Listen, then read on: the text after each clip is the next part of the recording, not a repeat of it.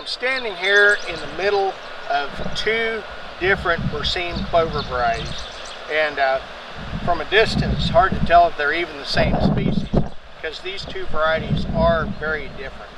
Um, got frosty Berseem clover here, have Belady Berseem clover over here, and you can tell they're just completely different plants. Um, the Belady is more of a one cut type plant. It's grown as a, a quick growing annual forage crop.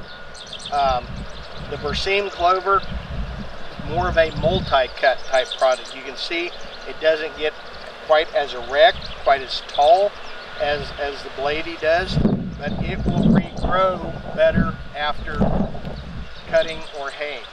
And so this is a multi-cut, this is a single cut.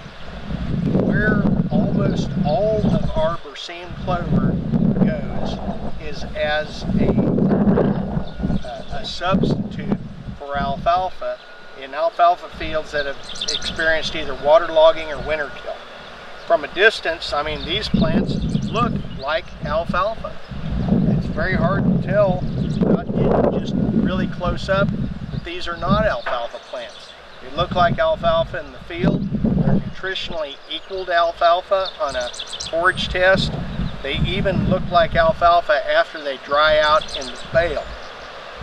But as opposed to alfalfa, these two clovers are very tolerant of waterlogged soils.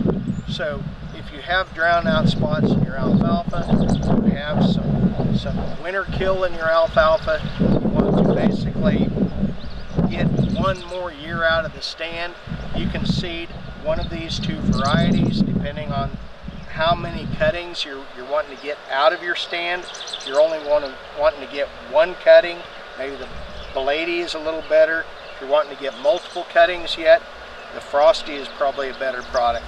Um, both, as you can tell, very different plants. Uh, this one comes on a little quicker. This one is a stronger finisher. Um, one of these two is probably going to fill your needs. And uh, rather than just put up with a really poor alfalfa stand than that last year before you decide to terminate it, you can fill in, get some additional growth out of a Berseem clover.